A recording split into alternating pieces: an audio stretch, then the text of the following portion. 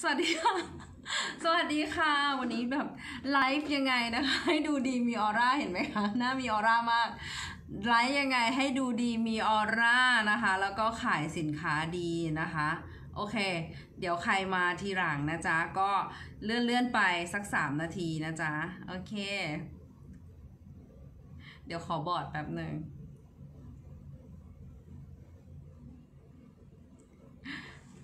สวัสดีค่ะ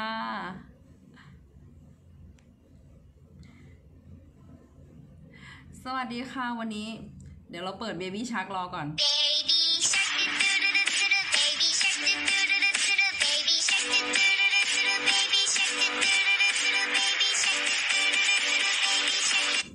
เพลงดังมาก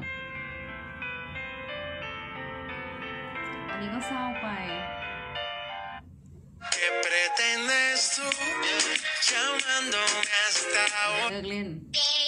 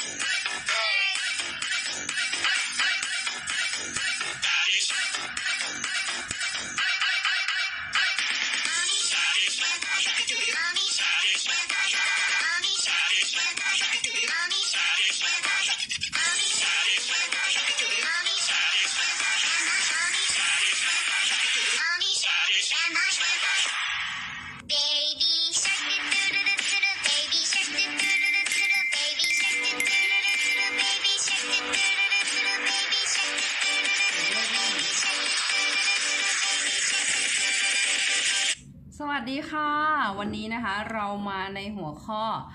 Facebook ไรยังไงให้มีเสน่ห์ดูดีมีออร่าแล้วก็หน้าตาดีนะคะ แล้วก็ดึงดูดลูกค้าเข้ามาสำหรับใครนะคะที่อยากจะดูดีมีเสน่ห์ครูดวงเนตรสวัสดีค่ะคุณมนพรพัฒน์นะคะ สวัสดีค่ะอ่าใครเข้ามาแล้วทักทายนะคะ ใครแชร์ไลฟ์นี้นะคะ รับสิทธิ์ไปเลยนะคะ อุ้ยทำไมยอดมันเพิ่มจริงๆนะคะ ใครแชร์ไลฟ์นี้นะคะ รับสิทธิ์ไปเลยนะคะ เออแต่ซื้อคอร์สเขียนโพสให้ขายดีนะ ในราคา 500 บาทเท่านั้นเอง ปกติราคา 2,900นะจ๊ะ โอเค อะ เดี๋ยวขอเลื่อน ขอเพื่อนกำลังมา เพื่อนกำลังมา วันนี้เราอยู่กับรูเมทสุดสวย เดินหนี เดินหนี พี่รัฐพี่รัฐ นะคะวันนี้ออกออกหนีเที่ยวนะ วันนี้ออกมาเรียนสัมมนาพรานิกฮิลลิ่งนะคะ เป็นการเป็นนักบำบัดนะคะในระดับพลังงาน เป็นไงคลื่นดีหรือว่าเกิดอะไรขึ้นทักทายกันหน่อย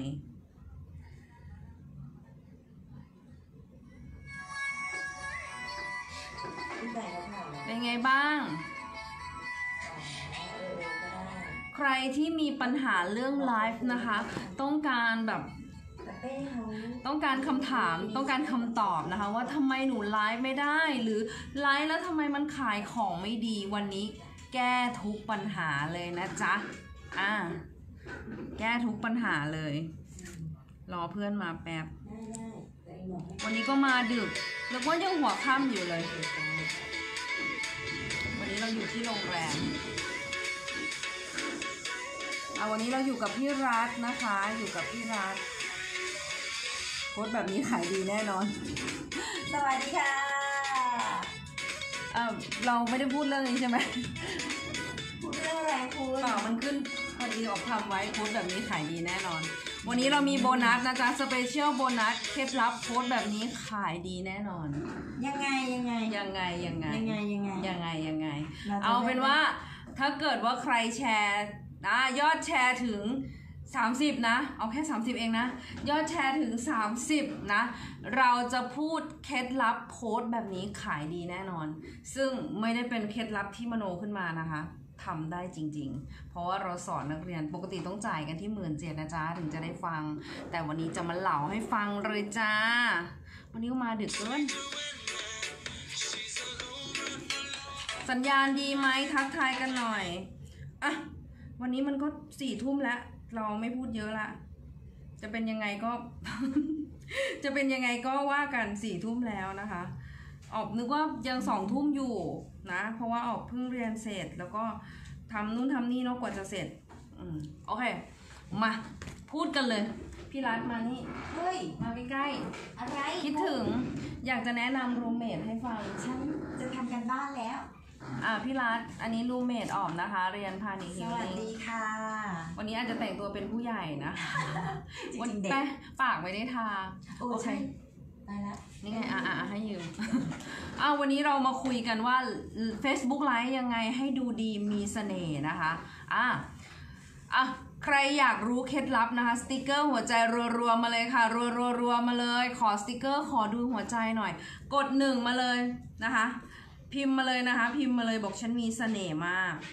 พิมพ์มาเลยว่าฉันมีเสน่ห์มากอ่าพิมพ์มาเลยใครพิมพ์นะคะ ขอให้หล่อขอให้สวยขอให้รวยนะคะ ขอให้ขายดีตลอดกาล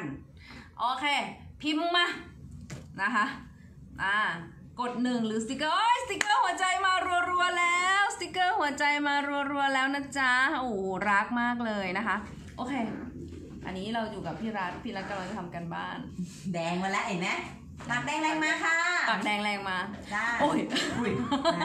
ไลฟ์ยังไงให้ดูดีมีเสน่ห์มีออร่าและลูกค้าเข้ารัวๆนะคะ อยากรู้ อยากรู้นะคะอืมอ่าเคล็ดลับข้อแรกเลยก็คือว่าเป็นธรรมชาติ การเป็นธรรมชาติเนี่ยออกไม่ได้หมายความว่า คุณจะแบบว่าหน้าสดพูดเที่ยวพูดสัตว์พูดแม่งอะไรอย่างเงี้ยนะไม่ไม่ได้เป็นธรรมชาติแบบนั้นนะจ๊ะธรรมชาติของเราเนี่ยคือเราหลายคนเนี่ยอาจจะแบบคิดเรื่องสคริปต์เยอะ จะพูดอะไรดีนะคะ ไม่ใช่ตีซะหนึ่งทีไม่ใช่ตีซะหนึ่งทีวันก่อนพี่รัฐเขาไลฟ์เขาเพิ่งจะโดนว่าไปค่ะเซลนะคะเขาไม่ไม่พี่รัฐเขาพูดน่ารักแหละแต่เขาแบบบางทีเขากังวลเรื่องสคริปต์นะคะ นิดนึงดิฉันไม่ได้กังวลโจทย์มันเยอะอ๋อไม่เป็นไรอย่าพูดเด็ดเดี๋ยวของเขาอะไรแบบของเขาไม่เป็นไร แต่ว่าอันนี้ไม่ได้ว่าพี่รัฐทุกคนเวลาที่เราอยากจะไลฟ์อะอืมอันนี้ พูดในโหมดของคนที่แบบอยากจะทำ personal branding ก่อน คือการไลฟ์มันมีประโยชน์หลายอย่าง มันหนึ่งมันช่วยประหยัดค่าโฆษณา คือบางคนเนี่ยไลฟ์อย่างเดียวไม่เคยซื้อโฆษณาเลยนะคะ คือเขาเรียกว่าการตลาดแบบสาวก อันที่สองคือไลฟ์ขายของ content ไม่มีก็ดังเหมือนกันนะคะ อ่า มันอยู่ที่ลีลานะคะ แต่เราขายของอย่างเดียวแล้วทำ content ไม่เป็น จริง ๆ เราทำคลิปมันก็เป็น content แล้วแหละ แต่เผื่อเราอยากจะเป็นคนดีมีสาระ เอ้ย คนตลกก็ ก็เป็นคนดีได้นะคะ ไม่จำเป็นว่าเราจะต้องจริง ๆ วันนี้ทำไมต้องเชิญพี่รัฐมาไลฟ์นั่นน่ะสินี่เป็น trick มีเพื่อนมีเพื่อนมีเพื่อน มีเพื่อนจ้ะมีเพื่อนจะทำให้เราดูมีเสน่ห์เราจะต้องมีอะไรที่มันดูแบบเหมือนมีเคลื่อนไหวตลอดเวลา เอานู่นเอานี่เอาพร็อพ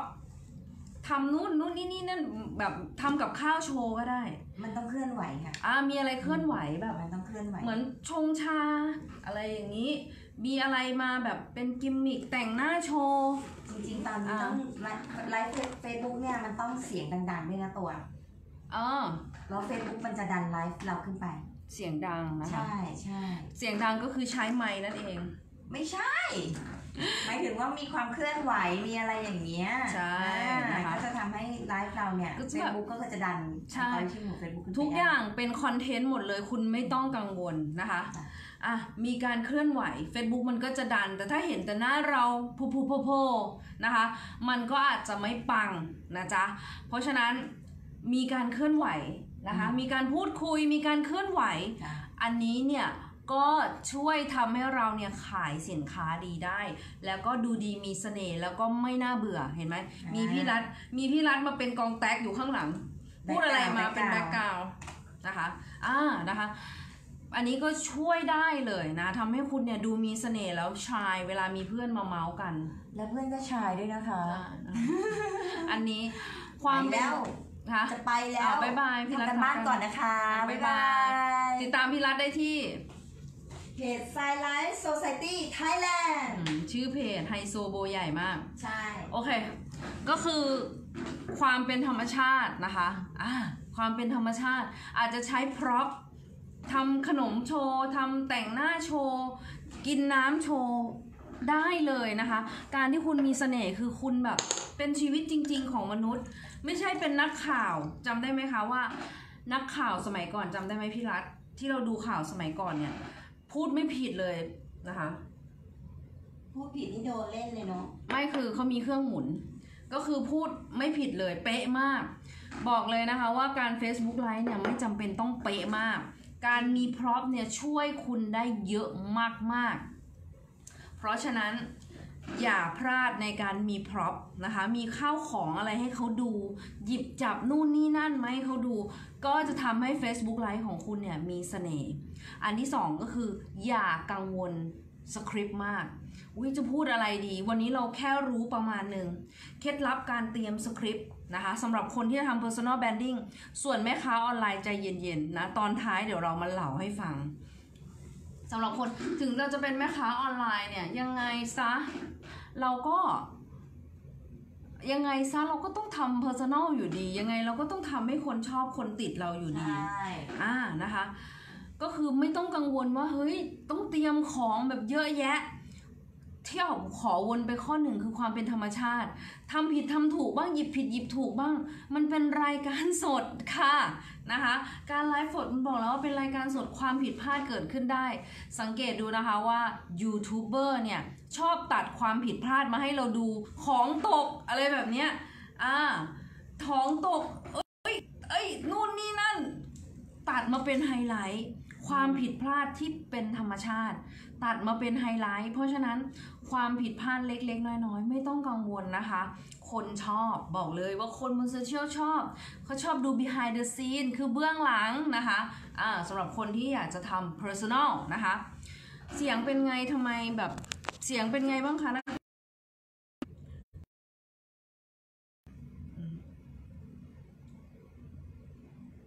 เดี๋ยวแป๊บนึงนะเอาขอเปิดดูก่อนนะคะ พี่อุ้มสวัสดี เสียงเป็นไงทำไมแบบ เสียงเป็นไงบ้างคะอ่าพี่อุ้มสวัสดี โทษทีไม่ได้นะคะออกไม่เห็น โอ้โหมีคนทักทายมาเต็มเลย พี่อุ้มอย่ากังวลใช่ค่ะ พี่อุ้มบอกไม่ต้องกังวลนะคะ ว่าจะต้องเป๊ะปังอลังการนะคะ คนชอบนะจ๊ะอะโอเคไลฟ์นี่นะคะ เอาเป็นว่าเรามั่นใจและไม่จำเป็นต้องสวยที่สุดในจักรวาลนะคะ เอาเป็นว่าคุณสวยในแบบของคุณ แล้วการที่จะดึงดูดผู้คนมาเรื่อยๆเนี่ยบางทีการใส่เสื้อผ้าแบบเดิมๆตลอดเนี่ยก็ถือเป็นเอกลักษณ์เหมือนกันนะแต่ออกทำไม่ได้เรื่องนี้นะคะ การมีแบบไม่จำเป็นต้องมีชุดเยอะ นะคะ ไม่จำเป็นจะต้องมีชุดเยอะ คอนเทนต์ก็ไม่จำเป็นต้องเยอะ กินแต่ส้มตำทั้งปีทั้งชาติก็ยังได้เลยนะคะอ่าขอให้คุณเนี่ยทำตลอดทำซ้ำทำอะไรบางสิ่งบางอย่างเนี่ยซ้ำๆนะคะอ่าก็ช่วยทำให้คนเนี่ยชื่นชอบคุณได้ อะไรเป็นปัญหาของพี่พี่รัฐคะในการ Facebook ไลฟ์แล้วไลฟ์ยังไงให้มันได้เงินทำยังไงให้คนชื่นชอบ บอกไว้เลยนะคะว่าไม่ว่าคุณจะเป็นใคร ไม่ว่าคุณจะเป็นใคร ไม่ว่าคุณจะพูดอะไร ขอเพียงคุณพูดซ้ำๆทำเดิมๆซ้ำๆคุณมีแฟนคลับแน่นอนซ้ำยังไงคะคุณมันซ้ำยังไงอะทำบ่อยๆอะ แล้วซ้ำก็เรื่องเดิมๆหรือยังไง ยกตัวอย่างสิคะก็อยากอยู่รู้ อยู่ที่จริตนะคะว่าอ่า ชอบเรื่องเดิมๆไหมออมเนี่ยก็จริง ๆ ต่อให้ไม่เดิมมันก็เดิมเหมือนเดิมออมก็พูดเรื่องความมั่นใจความสำเร็จ นะคะถ้าสมมติว่าคุณทำ personal คุณชอบตะเวนเที่ยวอืมคุณก็ตะเวนเที่ยวจ้ะถ้าเกิดคุณชอบพูดเรื่องกินอืมคุณก็กิน อย่างพี่ยานีนูนฮาสวีเดน แกก็กินส้มตำอะอืมกินมาตั้งห้าปีแล้วกินส้มตำโชว์ ทุกวันนี้ก็ยังกินส้มตำโชว์นะอืมบางคนก็เต้นถูกไหมอ่าอืมหรือโค้ดบางคนเออพูดเรื่องความรักเป็นโค้ดความสัมพันธ์ก็รูดพูดเรื่องยาพูดเรื่องรักพูดเรื่องเลิก โอ้โหประเด็นมันมีแต่สุดท้ายเรื่องเล่นเยอะเออวนมันก็วนเรื่องความรัก จริง ๆแล้วเนี่ย เวลาที่เราพูด อันนี้แพงนะอะ key แพง เราจะแจก key แพงแล้วอะขอสติกเกอร์หัวใจรัวๆหน่อย อันนี้ key แพงใครจะไปนอนนะ ใครจะไปนอนนะ key แพง อันนี้ key แพงนะจะต้องเรียนกับระดับโลกเลยนะจ๊ะ เรื่องนี้เรียนกับระดับโลกเลย ว่ามาเลยโรค ไม่ใช่โรค ระดับโลกเลยนะไม่ใช่ระดับโลก เออ ระดับโลกเลยนะจ๊ะมีแอบแซวเออยู่อข้างหลัง นะแอบแซวมีกองเชียร์เป็นไงกองเชียร์ น่ารักไหมมีเพื่อนคอยแซวใช่นะคะอะระดับโลกเลยนะจ๊ะอะขอ key แพงพิมพ์มาเลยว่าขอ key แพงอะ key success ของการที่ทำให้คุณเนี่ยดูดีมีออร่าแล้วก็มีเสน่ห์ดูรวมๆว่าอยากจะเปิดเพลงอะ เพลงอะไรนะ ดูรวมๆแล้วมีเสน่ห์ใช่ปะเพลงมีเสน่ห์ใช่ไหมอะขอคีย์แพง ขอพิมพ์มาห้าคน ขอพิมพ์มาห้าคน ขอคีย์แพงออกพูดเลย แพงมากจริง ๆ อันนี้ต้องบินไปเรียนต่างประเทศเลยนะ ก็ไม่ได้ได้มากันง่ายๆนะคะ อืม แต่วันนี้แจกฟรีว่างั้น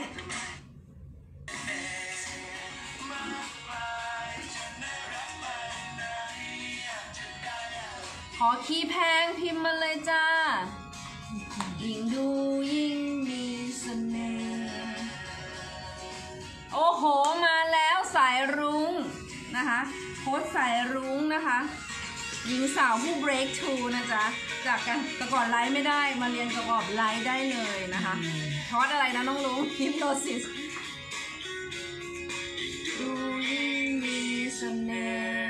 โอเค มาแล้วบอกขอคีย์แพง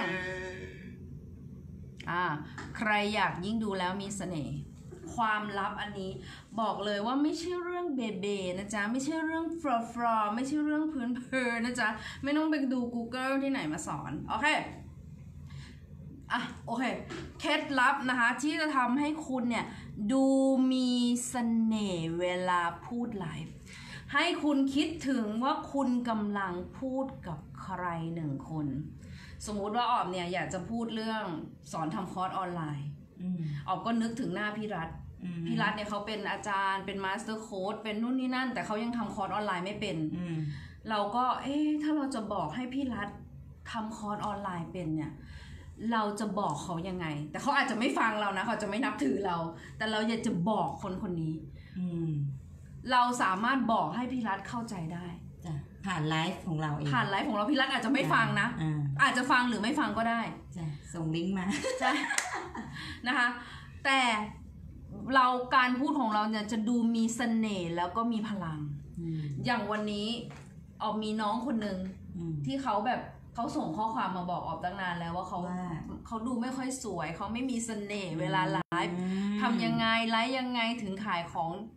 ไลฟ์ยังไงถึงขายของได้อืมออกก็นึกถึงหน้าเขาจ้ะอ่าว่าออกเนี่ยจะสอนอะไรเขาบ้างอืมเขากังวลว่าเขาไม่สวยอืมแล้วเขาบอกว่าเขาต้องทำสคริปต์ก่อนไหม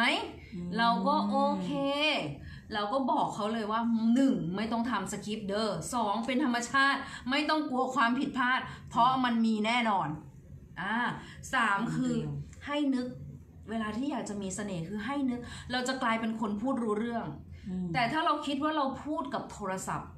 หรือพูดกับคนเป็นร้อย เราจะไม่รู้ว่าเราจะพูดกับใครอืมแต่ถ้าเราสื่อสารกับคนคนเดียวได้อ่าอืมแค่คนเดียวก็เข้าใจแล้วเคล็ดลับมันอยู่ตรงนี้แน่นี่ key แพงนี่ train ระดับ train the trainer เลยนะคอร์สของใครไม่รู้จำไม่ได้อะไม่เป็นไรนะคะแต่ว่าจริง ๆ ในอินเทอร์เน็ตก็มีแต่ว่าไม่ใช่ทุกคนจะรู้นะอืมแต่ว่าอืมแบบเหมือนเขาไปฟังมาแล้วเขามาสรุปให้ฟังแหละแต่ว่าอ่าอันเนี้ยก็ มันก็ต้องให้ออบมาขยี้อีกทีหนึ่งต่อให้คุณอ่านคุณก็ไม่อิน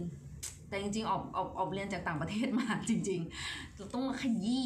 ต้องเอามาบทขยี้นะคะอืมอ่าแล้วการที่เราจะไลฟ์นะคะให้มันดูดีให้คนชอบเนี่ย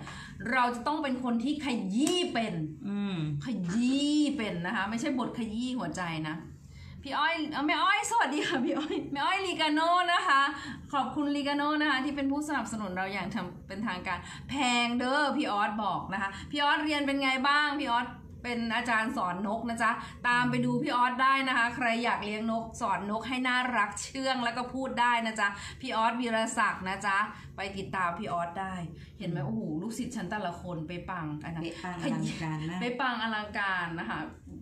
พูดกับนกได้ด้วยอะพูด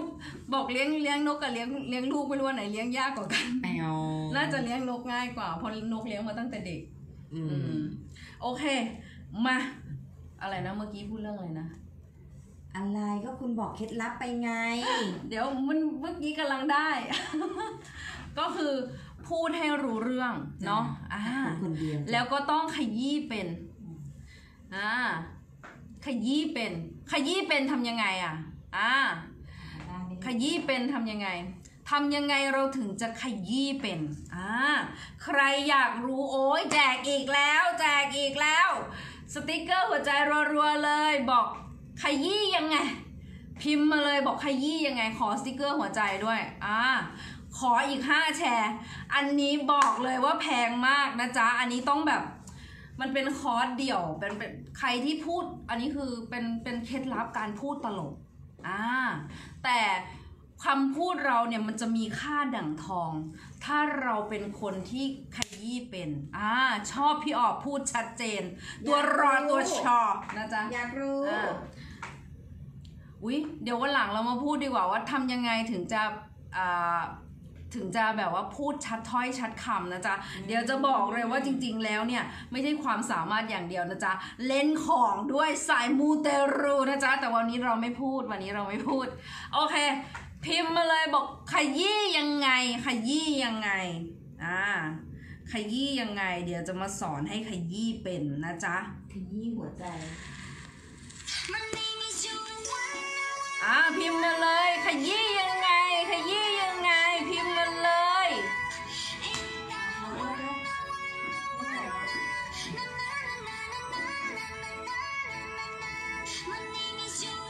อ้โห สติกเกอร์ขอบคุณสำหรับสติกเกอร์หัวใจรัวๆนะจ๊ะ อ่าขออีกสองคอมเมนต์ค่ะ ขยี้ยังไง ขยี้ยังไง คุณวิภาพร สวัสดีค่ะอ่าคุณวิภาพร น่ารักที่สุดนะคะอ่าคุณมนพรพัฒลุย ขยี้ยังไง บอกเลยว่า ความจริงอะไม่ใช่ที่การขยี้ ความจริงคือคำพูดคุณเนี่ยจะมีค่าดั่งทองเนี่ย คุณจะต้อง earn the right เป็นนะจ๊ะ อ่า earn the right เป็นนั้นเป็นอย่างไร earn the right เป็นนั้นเป็นอย่างไร คือเวลาที่เราจะพูดอะไรนะคะ เราจะต้องแบบ อะ อะ นะคะ ขยี้คือ ก่อนขึ้นพูดอะไรสักอย่าง สมมติว่าคุณจะพูดอะไรสักอย่าง คุณจะต้องบอกว่ามันเด็ดมากๆมันเด็ดมากแม่อ้อยสวัสดีแม่อ้อยแม่อ้อยแม่อ้อยคอมเมนต์ด้วย คุณอมรรัตน์นะคะเอาไม่เรียกชื่อใครขออภัยด้วย คุณจะต้องบอกว่ามันเด็ดมาก บอกเลยว่า ถ้าคุณได้ฟังเรื่องนี้ มันจะทำให้คุณได้อะไร อะสมมุติว่าเราเนี่ยจะมารีวิวอายไลเนอร์นะคะสมมุติว่าเราจะมารีวิว ไม่เอาดีกว่า เอาของ Lifeford เลยเปล่า Lifeford เป็นวันนี้ Lifeford หมดไปซื้อที่ตลาดนัดมา เอาเป็นว่า Lifeford นะคะ Lifeford เป็นผู้สนับสนุนของเรานะคะ Lifeford นะโอเค Lifeford อ่าเป็นเป็นวิทยากรให้ Lifeford อยู่โอเคอะสมมติว่าออบจะรีวิว Lifeford นะคะจะขาย เนี่ยจะขายอายไลเนอร์ Lifeford เนี่ยอีฉันจะขายอายไลเนอร์ Lifeford เนี่ยบอกเลยนะคะว่าวันนี้เนี่ยออบจะมาสอนเคล็ดลับอ่าสอนเคล็ดลับ การกรีดอายไลเนอร์แบบแบบดาราฮอลลีวูดโอ้โหคุณจะต้องบอกว่าสิ่งที่คุณพูดนั้นมีค่าขนาดไหน ก่อนที่คุณจะเข้าเรื่องอ่า กรีดเห็นไหมคะมันมีค่าแบบ ถ้าเขาได้ฟังเรื่องนี้แล้ว ถ้าเขาได้ฟังเรื่องนี้แล้ว ชีวิตของเขาจะเป็นยังไงหลังจากนี้ เขาจะได้อะไร การันตีเลยค่ะว่าฟินมากๆ หรือบอกเลยนะคะว่าใครที่กรีดอายไลเนอร์ไม่เป็นดูคลิปนี้กรีดเป็นแน่นอนอะการันตีแบบนี้เลยนะคะ เอาหัวเป็นประกันเลยทีเดียวนะคะอะ เหมือนออบเมื่อกี้จะพูดออบเมื่อกี้จะพูดว่าอะไรนะ โอ้แบบเป็น process ระดับโลก process ระดับโลกนี่ฟังระดับโลกแต่จริงๆ มีในอินเทอร์เน็ต คือจริง ๆ ออบจริง ๆ เราไปฟังแล้วมันก็ไม่ไม่รู้หรอกแต่ว่า จริงๆออบก็เรียนกับระดับโลกมาแหละ พูดว่ามันสำคัญขนาดไหน มันเอามาจากไหน มันจะดียังไง ถ้าสมมุติว่าไม่มี reference แบบยิ่งใหญ่แบบฮอลลีวูดหรืออะไร เอาหัวเรานี่แหละเป็นประกันนะคะ หรือ ถ้าไม่มีจริง ๆก็หาแน่นอนนะคะเขาจะต้องเขาจะได้อะไรหลังจากที่เขาฟังเราพูดแล้ว เมื่อ เมื่อเราพูดเสร็จอ่าเดี๋ยวออบจะมาสอนกรีดตานะคะ กรีดอายไลเนอร์แบบดาราฮอลลีวูดนะคะ ว่าเขากรีดยังไง บอกเลยว่าคนรู้น้อยมากนะคะอ่าสมมติออบสอนกรีดแล้วจริงๆออบไม่รู้หรอกนะคะอันนี้สมมุตินะคะอะเมื่อกรีดเสร็จแล้ว นะคะ เราก็ขยี้อีกรอบหนึ่งว่าเห็นไหมคะ ง่ายไหมคะอ่าอ่าหรือว่าถ้าเกิดเราแบบไม่เคยไม่จำเป็นต้องไปโกหกเขานะ ถ้าเกิดว่าเราไม่เคยเราก็บอกว่า พอดีไปดูบล็อกเกอร์ต่างประเทศมา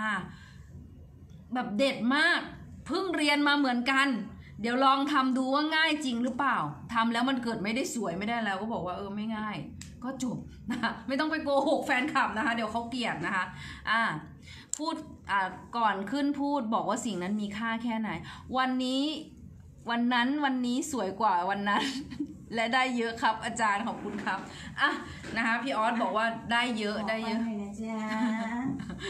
พี่พี่รักนะคะโชว์โชว์บอกแล้วว่าเคล็ดลับการที่ทำให้คุณดูมีเสน่ห์นะคะอ๋อคุณจะต้องเป็นคนที่แบบ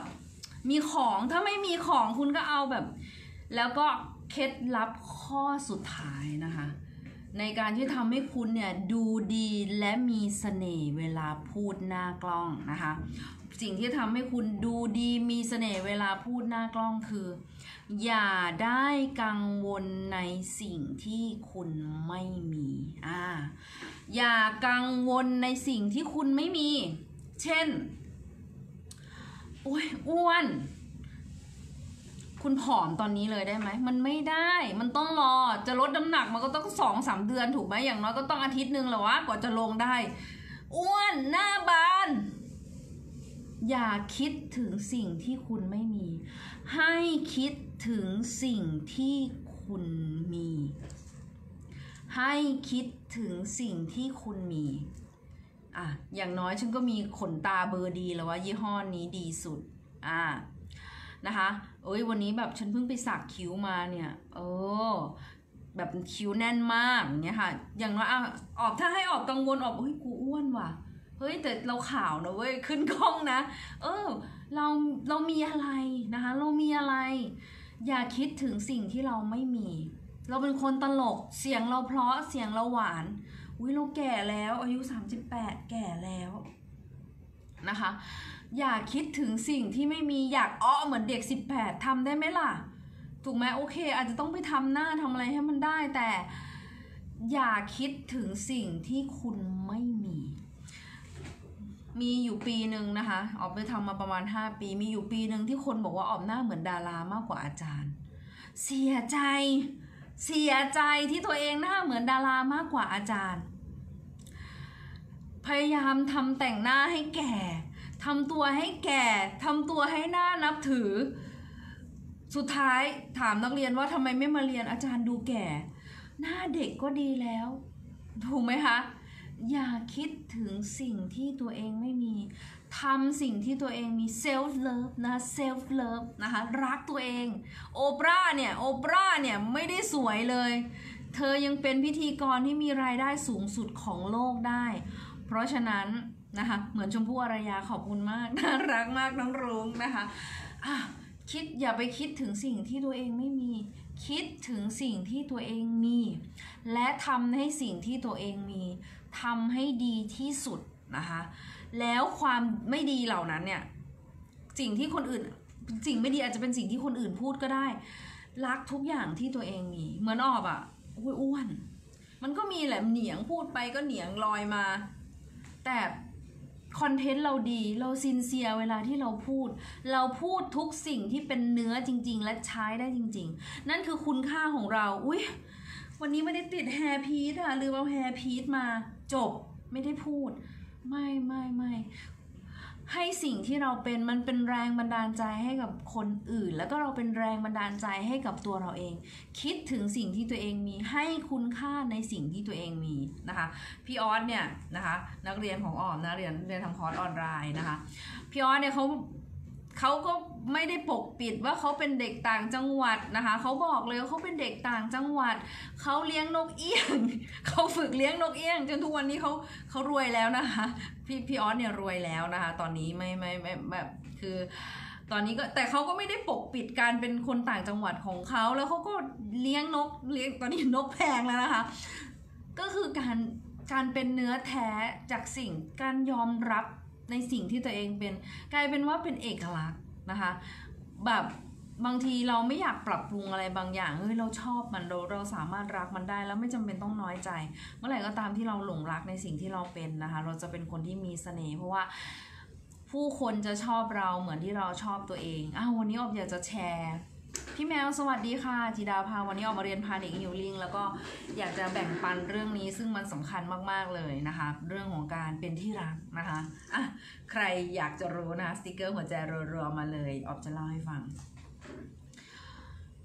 อาจารย์ Choa Kok Sui นะคะ Master Choa Kok Sui เนี่ยเป็นคนที่เป็นพุทธเป็นคริสต์แล้วก็ได้เรียนเกี่ยวกับการทำสมาธิแล้วก็มีหลายอย่างเลยนะเป็นนักบำบัดอาจารย์บอกว่าวันนี้อาจารย์บอกว่า การที่เราแบบเราอะมีแต่อยากจะให้คนโน้นคนนี้มารักเรา เราน้อยใจที่คนโน้นคนนี้ไม่รักเราทำไมคนนั้นไม่รักเราทำไมคนนี้ไม่รักเรา มันเกี่ยวข้องกับเรื่อง Facebook ไลน์ก็คือว่า เมื่อไหร่ที่เราอยากจะให้ เมื่อไหร่ที่เราให้ความรักกับคนอื่นนะคะ เมื่อไหร่ก็ตามที่เราให้ความรักกับคนอื่น อย่างไม่มีเงื่อนไข เมื่อไหร่ก็ตามที่เราให้ เมื่อไหร่ก็ตามที่เราเป็นความรัก เราก็จะถูกรัก เมื่อไหร่ก็ตามที่คนอื่นไม่รักเรา แสดงว่าเราไม่รัก เราไม่รักตัวเองด้านไหนอยู่หรือเปล่า เขาถึงไม่รักเรา แล้วเมื่อเรารักตัวเองเสร็จแล้ว เราก็ให้ความรักกับคนอื่น เราก็จะได้ความรักนั้นกลับมา อันนั้นก็เป็นความลับของการเป็นคนที่มีเสน่ห์ เมื่อไหร่ก็ตามที่เราไม่รักหน้าของเรา เราไม่รักรูปร่างของเรา เราไม่รักสีผมของเรา เราไม่รักอายุของเรา เราไม่รักสิ่งที่เรามี ผู้คนก็จะสัมผัสได้ และมันจะกลายเป็นสิ่งที่ทำให้ผู้คน เขาจะรับรู้ทันทีแล้วเขาก็จะไม่ชอบเราที่ตรงนั้น ต่อให้มีคนชอบเราทั้งโลก แต่มีหนึ่งคนที่เกลียดคุณก็จะเจ็บปวด มันเจ็บปวดจากการที่คุณแบบ ไม่สามารถรักในสิ่งที่ตัวเองมีได้นะคะอันนี้ก็แบบเหมือนเอามาแบ่งปันเนาะฉะนั้นง่ายมากเลยนะคะคีย์ของการที่เราจะเป็นคนมีเสน่ห์และดึงดูด ดึงดูดผู้คนเข้ามา ก็คือการที่เรารักตัวเอง เห็นคุณค่าในตัวเองเสมอ แม้กระทั่งในสิ่งที่คนอื่นเขาไม่เห็นอ่าหลายคนก็บอกอาจจะบอกว่าออบอ้วนเกินไป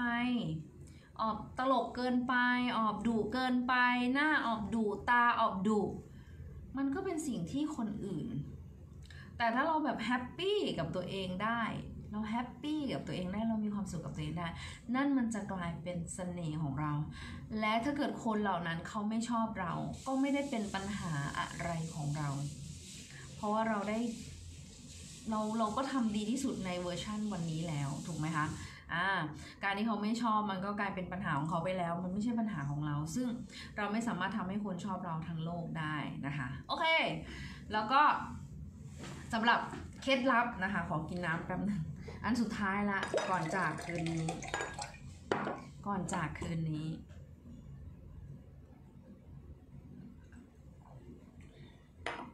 ก่อนจากคืนนี้ก็คือว่า แล้วไลฟ์ Facebook ไลฟ์ยังไงให้ขายของดีนะคะ การ Facebook ไลฟ์ยังไงให้ขายของดีเนี่ย การทำโปรโมชั่นนะคะ การทำโปรโมชั่นแล้วก็การแสดงออกถึงความเป็นคนจริงใจของเรา แล้วเราก็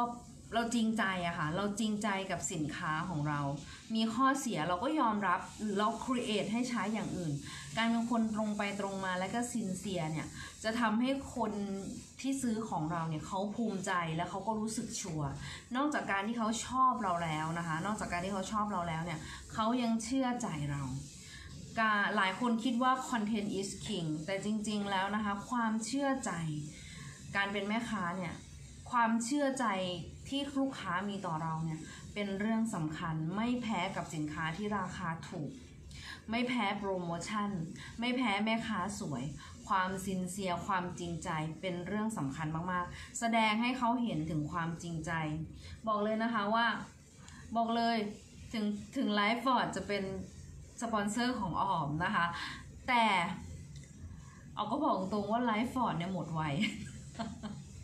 เออ มันเป็นอายไลเนอร์ที่ดีมากแต่ก็หมดไวมันคือซินเซียคือ เขียนดีข้อเสียคืออะไร เราต้องกล้าที่จะเปิดเผยถึงข้อเสียของสินค้าของเราด้วย ไม่ได้บอกแค่ว่ามันดีทุกอย่างนะคะ แล้วก็เมื่อผิดพลาดนะคะ ขอให้พูดคำว่าขอโทษและแสดงถึงแสดงการรับผิดชอบทันที สมมติเราส่งของผิดเราจะต้องส่งของเพิ่มไปให้เขา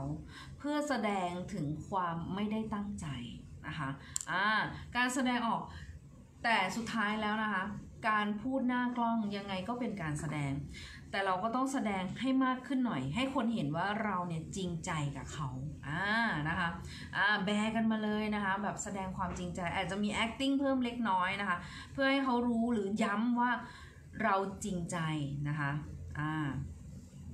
เราจริงใจกับเขานะคะ แล้วก็วันนี้นะคะออบมีคอร์สนะคะ สนใจลงคอร์สออนไลน์ ออบมีคอร์สวันนี้ถึงพรุ่งนี้นะคะ เที่ยงคืนราคา 500 บาทเขียนโพสต์ยังไงให้ขายดี หลังจากนี้ 2,500นะคะ2,500 2,900 ไม่แน่ใจอ่าบอกเลยว่าเป็นเคล็ดลับที่เป็นเคล็ดลับจริง ๆ นะคะ ของ copywriter แล้วก็ทำงานได้จริง ๆ นะคะ หลายคนเคยมาเรียนแล้วเนาะอ่ากับออบเนี่ยจะรู้เลยว่าแบบ จ่ายแพงมาก แล้วก็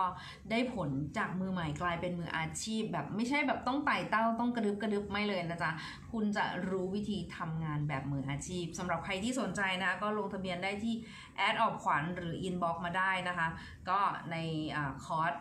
การกุศลนะคะ เอ้ยไม่การกุศลละรายได้ 10%นะคะ ก็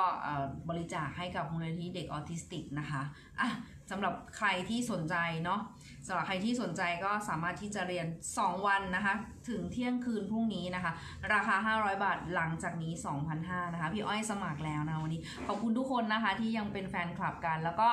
เเราจะมีงานนะคะ เราจะมีงานก็คือ Facebook Live ให้ขายดีนะคะ ที่ลีกาโนนะคะสำหรับใครที่สนใจเนี่ย ก็สามารถลงเรียนกับออบได้นะคะ ราคา 1,990 บาทนะคะ แล้วก็ได้สินค้านะคะไปทดลองขายด้วย ถ้าเกิดว่าใครสนใจคอร์สพูดหน้ากล้อง แล้วเจอกับออบตัวเป็นๆนะจ๊ะ ก็วันที่อ่าเจ็ดเดี๋ยวนะ ดูปฏิทินแป๊บหนึ่งอะก็สามารถสมัครได้นะคะ วันที่ 7 วันเสาร์ที่ 7 นะคะ เจอกันตั้งแต่ 10โมงเช้านะคะถึง